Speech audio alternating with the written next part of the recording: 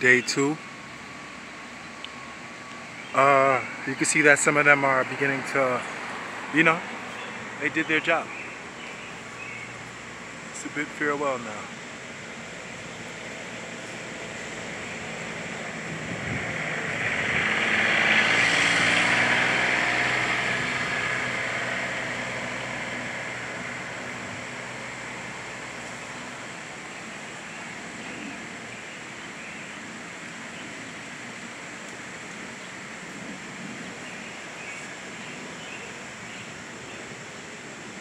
Deep in them flowers, working.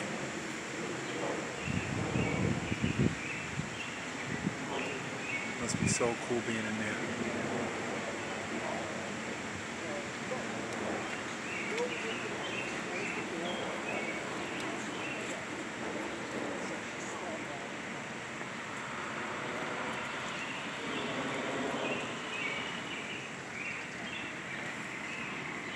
And there's small little flowers everywhere falling.